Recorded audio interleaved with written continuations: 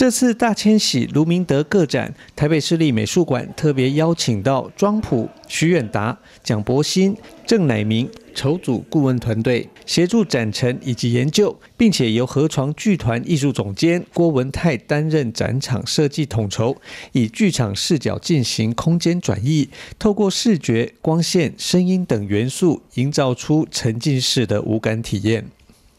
那透过这次的展览，呃，其实也是等于是给后辈一个典范啊，就是说，呃，你如何透过呃呃学习、教学，还有不断对议题的一一一直不断的创新啊，然后呃自我挑战跟突破。那当然，呃，卢老师跟北美馆的渊源算蛮深的啊。我们都知道，北美馆是一九八三年开馆，可是卢老师他呃回国以后，从日本回国以后，在一九八八年曾经获得呃这个呃现代美术新展望的首奖。那这次呃也有展示这一件哦，就是美术馆收藏的作品。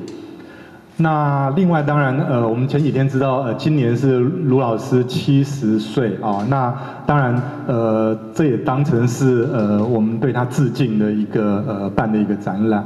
而在展场媒材运用上，首次尝试花间迷走球幕影像装置，以及方舟概念的动物群大迁徙的剧场转译，完整呈现艺术家卢明德的创作历程。然后大迁徙有三个层次，一个是人类大迁徙，那第二个是文化艺术的大迁徙，然后第三个是跟这次展览有关，是我个人艺术媒体的大迁徙。那个媒体是媒介的意思，等于是呃我创作作品里面的素材。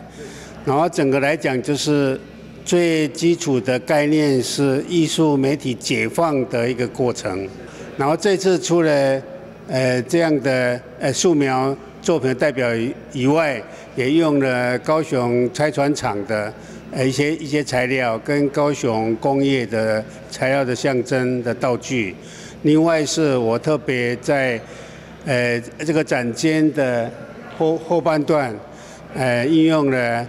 这次从高雄历史博物馆借出来的老照片，然后两边来呼应、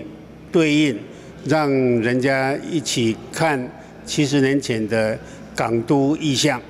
大迁徙卢明德个展从即日起到七月十八号，在台北市立美术馆二楼展出，邀请观众朋友踊跃到场参观，欣赏复合媒体艺术论的创作伦理架构。记者许超雄台北报道。